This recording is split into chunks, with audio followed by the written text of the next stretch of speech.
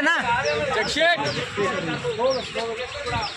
అన్నా దగ్గర రాగు ప్లీజ్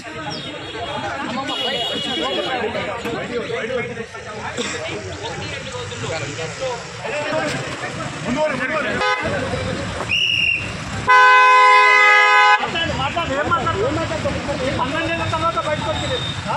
పన్నెండేళ్ల దగ్గర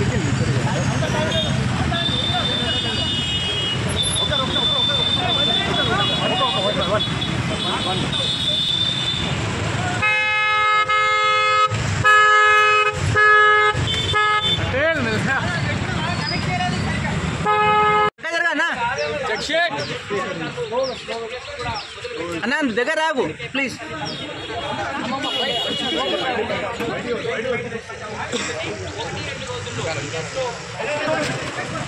మాట్లాడు